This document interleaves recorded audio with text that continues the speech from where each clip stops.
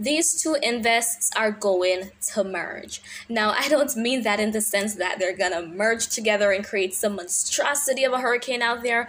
I merely mean that we've got two areas that could develop being close in proximity to each other, and eventually the stronger, the more dominant one is gonna be taken over, which is a tropical wave given a medium chance to develop.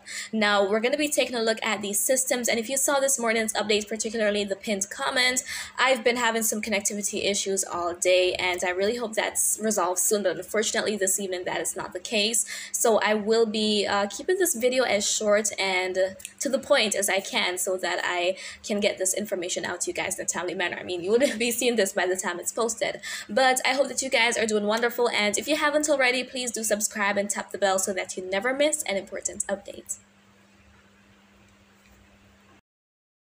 Alright, so let us go ahead and get straight into it. This video is going to be focused on these two disturbances. Uh, tomorrow I hope to get a chance to go into more details with regards to other systems out there. But in terms of Lee, of course, that could still be a problem for parts of the northeastern US and also for Atlantic Canada for areas such as Newfoundland. So uh, eventually, if it is going to be a threat indeed, the National Hurricane Center will issue watches and warnings at least two days before such impacts. But if you're in those areas, you really want to keep watch because it could it, it is likely to bring some impacts either in terms of that dangerous surf which some areas are already experiencing or strong winds heavy rainfall but it is going to be a lot weaker than it currently is. So it is sustaining winds at uh, cat 3 intensity right now. Might try to strengthen a bit more but it has been struggling out there. I'm not expecting a whole lot more to become off lee as for margot out there margot is now a hurricane a cat 1 just as expected and so that is not going to be a problem for anyone so let's go ahead and get straight into our two systems. So here we are taking a look at the National Hurricane Center's graphical tropical weather outlook and there we can see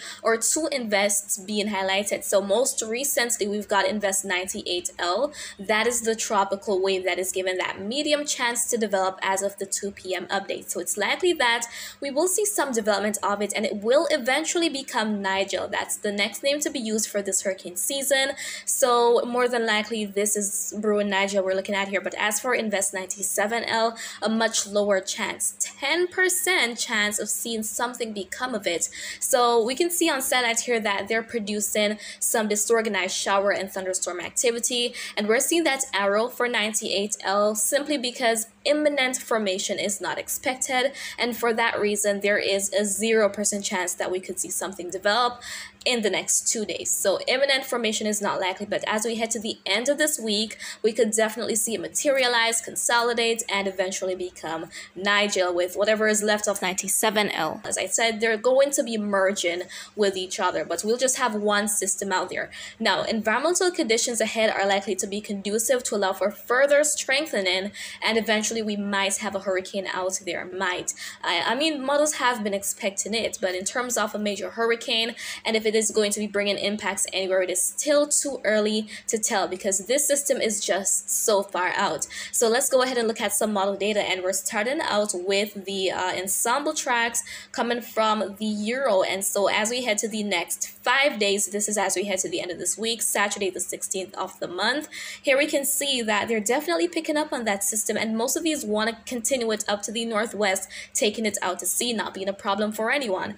But then let's head further out here. Let's go to 180 hours out and this is as we head into next Tuesday. So we can see here that the model is showing that the system will be staying out in the Atlantic, but it could be a problem for some areas in the west, parts of North America, potentially Bermuda, who knows, even the Caribbean could be at risk. As I said, it is too early to tell, but bottom line, models are expecting that it will develop as we head into the latter part of this week and could further intensify as we head into next week, possibly becoming a hurricane, maybe even a major hurricane. Some models are showing a Lee-like scenario with this in terms of it doing something a bit similar to Lee, not the exact thing, but something similar with it missing the Caribbean and then making a turn, potentially impacting the US, who knows. So that is one of the many possibilities on the table. I want to get it out there to you guys.